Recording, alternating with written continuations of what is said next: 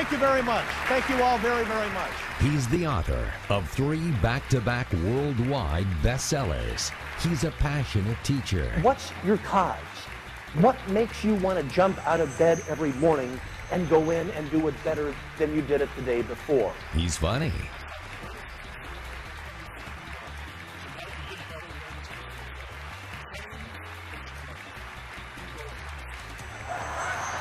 He loves leading people and companies to their full economic potential. So if you're ready to set aside any preconceived ideas that you might have, and if you're set to learn some lessons from some of the most fascinating leaders in the world, then let's go on a journey together. He's the man USA Today calls one of the three most in demand business speakers in the world. And he brings people to their feet. This is Jason Jennings.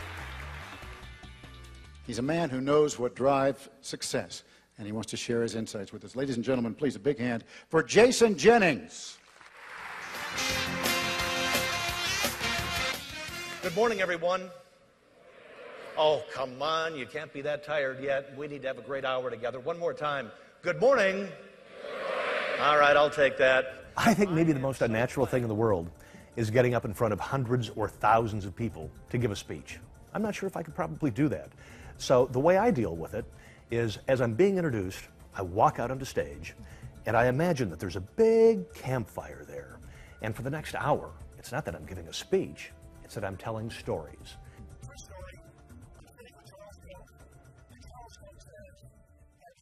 Billion dollar Brad yet? And I said, Billion dollar Brad. What's a billion dollar Brad?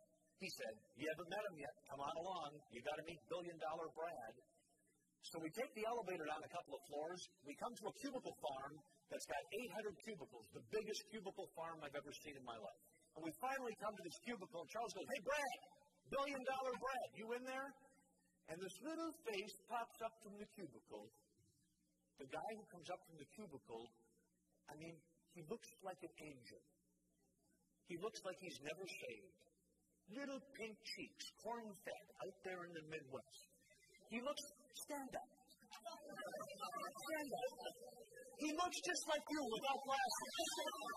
I mean, he looks just so beautiful and angelic. Like, you know, like the cherub from the Hallmark store. And Charles said, That's my billion dollar Brad.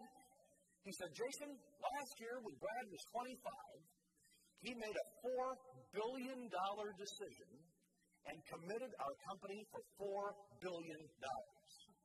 And I said, Charles, why would you let a 25 year old kid make a $4 billion decision? He said, Jason, if the only people in an organization who get to make decisions are the big old chubby executives sitting up in their big corner offices out of touch with the marketplace, he said, the organization's not going to grow. Here's the magic. He said, decisions have to be made by the people with the knowledge. And he said, in this instance, Brad had more knowledge than anybody in the company to make that decision. And I looked at him and I said, But Charles, for a billion dollars, what if it had been the wrong decision? He looked at me and he said, We would have had a pretty poopy year. And then he added, think of how much Brad would have learned about decision making if it had been the wrong decision. And one of the things I think that separates me from everybody else is I'm the guy that takes the time to interview on the telephone about 10 or 12 people who are going to be attending the speech. I want to ask people, what keeps you awake at night? What goes bump in the night? What are the stumbling blocks that would prevent you from achieving your full economic potential? Once I hear those things, then I'm able to select content and hopefully hit one out of the park and give people what they need to hear. I have always been absolutely fascinated by your industry. Secondly, when I had a conversation with CC Thompson about you, the group, and about the agenda, it was the best delivered and best prepared uh, conversation that I've ever had in my life. And I thought, I really am going to like these people. And then last night, it's like I've known some of you for 15 or 20 years. Everybody is just, well, it was probably the booze that helped, but I mean, everybody is so happy. Everything I do is totally research based, whether it's writing a book, whether it's preparing a speech. I frankly don't think that people are very interested in knowing what I think. What I think doesn't count. But what myself and my researchers have uncovered inside the world's best performing companies, that's what counts. Um, much more than standing up and giving a speech, I think of my speeches as an opportunity to report to audiences on what we found inside the best performing companies in the world. Every one of these companies have figured out who their right customer is and then set out to systematically not satisfy them, but exceed the expectations of the right customer. For example, this study has been replicated. You'll find it all over my website. It's been replicated scores of times.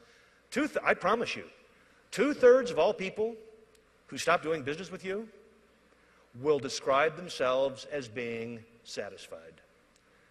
Clearly, being satisfied is no longer enough in this maddening world we live in to act as a precursor of an intention to repurchase. It's one thing to motivate people and rev them up, and that's fine.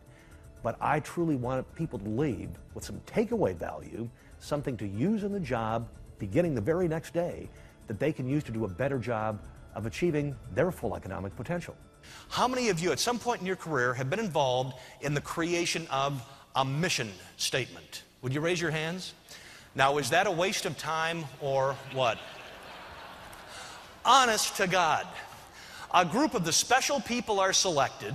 They take a couple of cases of beer and a cheap cardboard box of wine, retire to a lakeside cabin for a weekend to come up with this damn mission statement. And here's the good part while they're half in the bag, they come up with some good stuff. I think we ought to be doing this. But of course, the booze runs out on Saturday night. Sunday morning, they know they need to nail down this mission statement. So they cobble together something that's politically correct, will not offend anyone, hopefully aspirational. They take it back, run it through the laser printer, hang it on the wall, print it on the business cards. And let me ask you, say it aloud. What changes as a result of the new mission statement? Say it. Nothing.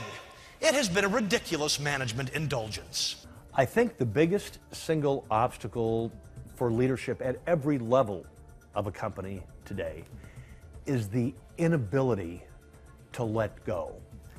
And as we went out and studied the world's best performing companies, and it's certainly a, a, central theme to most of my speeches, is that these great companies have mastered the art of letting go. General Motors. For years, General Motors had had a brand, Oldsmobile, which had been circling the drain, as we all know. In the average year, General Motors used to spend $100 million a year advertising Oldsmobile. Five years ago, they said, well, you know what we're going to do? We're, we're not going to spend 100 million in advertising. We're going to spend 500 million in advertising, and we're going to come up with a phrase that will make people rush out and buy Oldsmobiles. Now, does everybody remember what that phrase was? It's what? It's not it's not your father's Oldsmobile. Duh. We knew that. It was grandfather's Oldsmobile. Who but an old fart would drive an Oldsmobile, for God's sake? And General Motors wasted $500 million of my money and your money if you were a shareholder in General Motors because they couldn't let go of yesterday's breadwinner. I'm very lucky. My office receives about 20 calls a week for speeches. That's about 1,000 a year. I'm able to do 80. That means we have to say no more than 900 times a year. So, what do we look for? We look for good companies, good organizations who are filled and headed by authentic people. People who are really committed to the development of their employees, of their customers, and of their shareholders as well. Uh, so, we want to be affiliated with good people. Stewards are accessible do you know that the CEOs of every one of these companies, the CEOs of every one of these companies, including Charles Koch, have listed home telephone numbers? Listed home telephone numbers. And I was sitting down with one of them saying, Now, why in the world would you have a, a telephone number in the phone book? You're the CEO of a huge company. He said, Well, what are telephone books for? And I said, I know, but you're an important person. Don't you get a lot of calls at home? He said, No. He said, I get a call from an employee once in a while who feels they haven't been given a fair shake. He said, but hell, we're trying to hold on to people, not lose them. I mean, if I can help save somebody, I'm happy to do that. And he said, Jason, he said, maybe you're unclear on the concept, but the only other person to ever call me at home would be a customer. And guess what? We're always trying to find more of those. Uh, I, I'd say that companies who are committed to growth, companies who are committed to the development of people, and who, companies who get it and understand that business is truly about exceeding the expectations of their customers, those are the companies who will benefit most from the lessons of the fastest, most productive, and best performing companies on the planet.